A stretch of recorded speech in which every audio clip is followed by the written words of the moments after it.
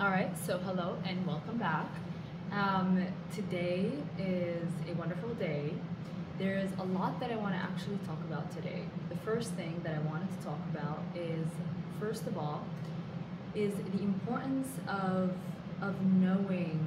Um, maybe I should change the place of the camera, but the importance of knowing how to do a poker face. It's very important that you understand this art poker face, meaning that if you're having a good day, you look the same as if you're having a bad day. So basically, no one can tell what's going on inside of you.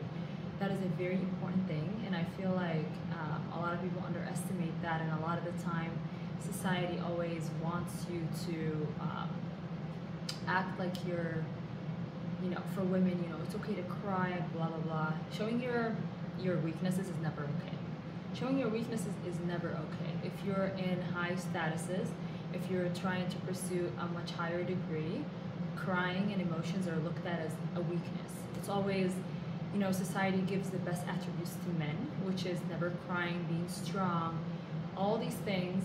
But I think that a woman and a man, right now, I feel like the roles have really changed. I feel like a lot of the time, men right now are actually more relatable and a lot more emotional than women. I feel like just my personal experience.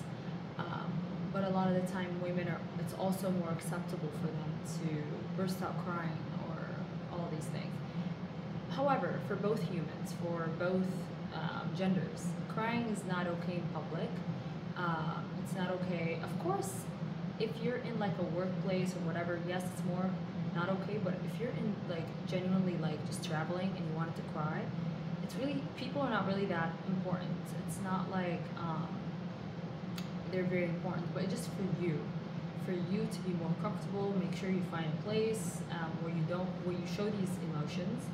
But also, it's very important that you realize that you must maintain a poker face. You shouldn't look like you're um, what is it called? You're sad feel like a lot of the times, for me, for example, I have a sad vibe even when I'm not sad, which is quite, um, which sucks. But I'm really trying to work on it to look, um, you know, at least of average emotions when I'm like walking around. I feel like I give off a vibe of um, somebody who's like depressed, but I'm not depressed at all. Sometimes I, you know, regular human emotions, which is feeling sad every once in a while, but I don't feel sad all the time, but I feel like I give off that vibe. So that's another thing. When you have a resting or a resting, um, they call it RBF, RBF, that, and also there's another resting uh, sad face. And then a lot of people have resting like like this, like this how they look like all the time, or like this. So um, yeah, something that I wanted to talk about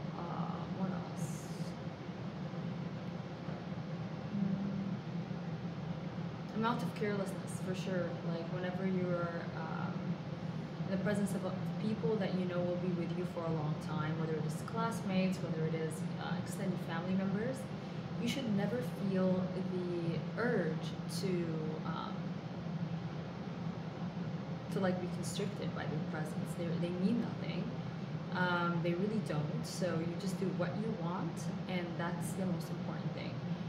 Um, something else is that um, be less involved, I should say. Be less involved. Um, and yeah, what's gonna be here? I just woke up, by the way, and I'm feeling uh, tired. I feel like my eyes are still full up. Um,